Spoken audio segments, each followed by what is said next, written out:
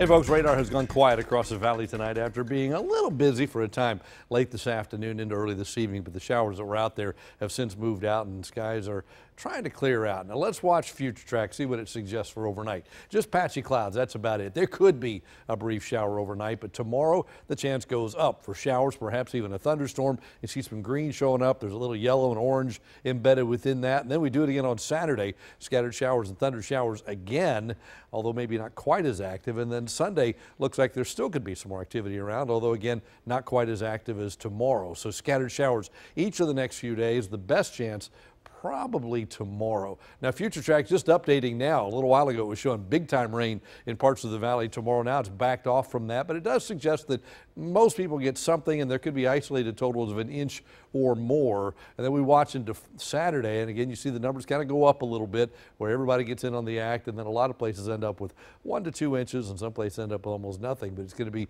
again, a scattering of showers and thunderstorms between now and the end of the weekend. One 60% tomorrow, 40 on Saturday, and then 30 30 on Sunday. Temperature wise, the normal is 95. We won't make it tomorrow because of the clouds, nor will we make it on Saturday. Even Sunday, I don't think we'll make it back. About 93 for your high on Sunday afternoon. Here's a look at our current temperatures 85 right now in McAllen, 80 in Harlingen, 83 in Port Isabel at this hour. Overnight tonight, we bottom out in the upper 70s. That's about it. Warm and humid.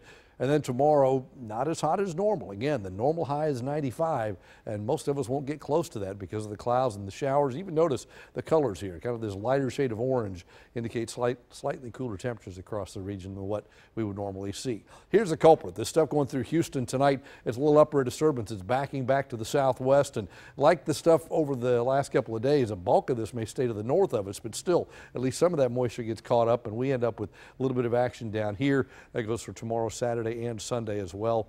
By Sunday, that thing pulls away. More moisture in the southeast Texas coastline, but not much else in our direction. So our shot is kind of a one-shot deal. Take a look out here. We do have a tropical storm now named Beryl right now at 10.4 and 44. Winds are 65. Hurricane Center takes it up to hurricane strength now by tomorrow night, but as it goes westward, it's down in the alley.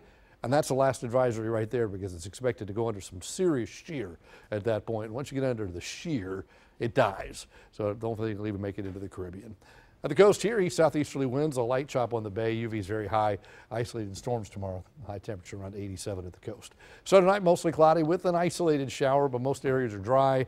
Tomorrow, about a 60% chance for a shower or thunderstorm. The high tomorrow should be 90 degrees. We're back to 91 Saturday, 93 Sunday, and then next week closer to normal, but really I can't rule out a shower any day of the forecast period. Just the best chance comes tomorrow, the most widespread activity tomorrow and Saturday, and then it begins to kind of taper off by Sunday and quieter, not quiet, but quieter next week. So a wet weekend?